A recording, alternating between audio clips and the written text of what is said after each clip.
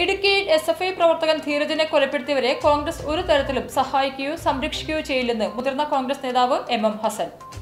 ബുധനാഴ്ച ഉച്ചയോടെ കാസർഗോഡ് പ്രസ് ക്ലബിൽ നടത്തിയ വാർത്താ സമ്മേളനത്തിൽ സംസാരിക്കവെയാണ് എം എം ഹസൻ ഇടുക്കി കൊലപാതകത്തിലെ കോൺഗ്രസ് നിലപാട് വ്യക്തമാക്കിയത്.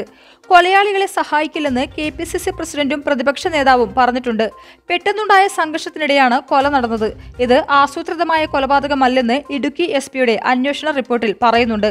എസ് എഫ് ഐ പ്രവർത്തകനെ കൊലപ്പെടുത്താൻ K P C C president അടക്കമുള്ളവർ ഗൂഢാലോചന നടത്തിയെന്ന സി പി എമ്മിന്റെയും ഡിവൈഎഫ്ഐയുടെയും എസ് എഫ് ഐയുടെയും ആരോപണങ്ങൾ അടിസ്ഥാനരഹിതമാണ്. കൊലപാതകത്തെ ശക്തമായി അപലപിച്ച യൂത്ത് കോൺഗ്രസ് പ്രസിഡന്റ് ഷാഫി പറമ്പിൽ ഇതേക്കുറിച്ച് അന്വേഷിച്ച് നടപടിയെടുക്കുമെന്ന് വ്യക്തമാക്കി കഴിഞ്ഞു. കെ പി സി സിയും ഒരു അന്വേഷണ കമ്മിറ്റിയെ നിയോഗിച്ചിട്ടുണ്ട്. ഒറ്റപ്പെട്ട ഒരു സംഭവത്തിന്റെ പേരിൽ എസ് എഫ് ഐയും ഡിവൈഎഫ്ഐയും കേരളമൊട്ടുക്കും അക്രമങ്ങൾ വ്യാപിപ്പിക്കുകയാണെന്ന് ഹസൻ കുറ്റപ്പെടുത്തി. കൊലപാതകത്തെ ഒരു തരത്തിലും ന്യായീകരിക്കാനോ കൊലയാളികളെ സഹായിക്കാനോ ഒന്നും കോൺഗ്രസോ യു ഡി എഫോ തയ്യാറാവുകയില്ല എന്ന് കെ പി സി സി പ്രസിഡന്റും പ്രതിപക്ഷ നേതാവുമെല്ലാം പ്രഖ്യാപിച്ചു കഴിഞ്ഞു.